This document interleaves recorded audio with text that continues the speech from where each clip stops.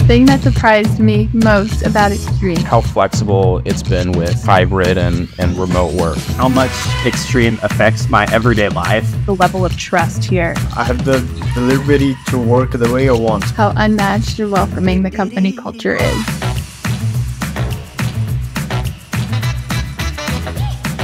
My favorite part about working at Extreme is learning from all the professional people here. I'm actually getting to work on projects that have an interest to me and projects that I get to see just have an importance in real life. My favorite part about working at Extreme is that every day it's a new adventure.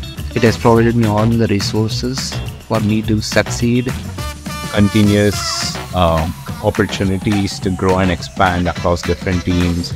Something that is really special about Extreme is is that I'm doing work that continues on after I leave. I'm able to see a lot of different functions of the business working together. So I've seen firsthand that relationship between sales and marketing, but also sales operations. I really like people that I work with.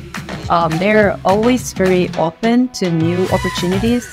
Being at Extreme now, it's I'm really doing work that you know, matters. I've never had any other internships besides Extreme, but I've never had a job quite like it. It really pokes and prods my abilities and my problem solving skills to work here. Being valued here at Extreme is just the connections I've made with everyone I've gotten to work with. Extreme does a really good job with allowing their interns to feel like full time workers. From nine to five, we're doing valuable work that makes a difference, and that's what I love.